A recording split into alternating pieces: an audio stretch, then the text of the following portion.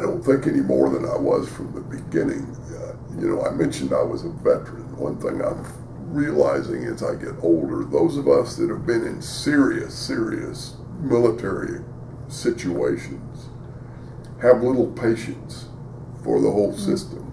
So I started off with little patience. I cannot stand incompetence. The legal system breeds incompetence.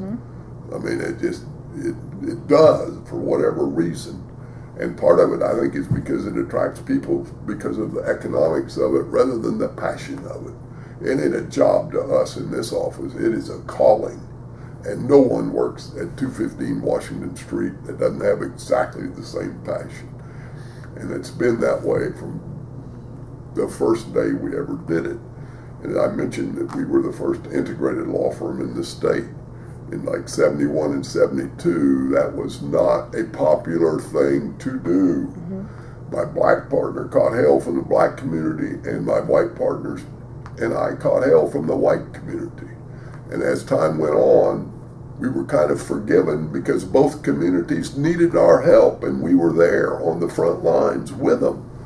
So we ended up being accepted, and we got accepted because we worked and we fought, and we continued to do that.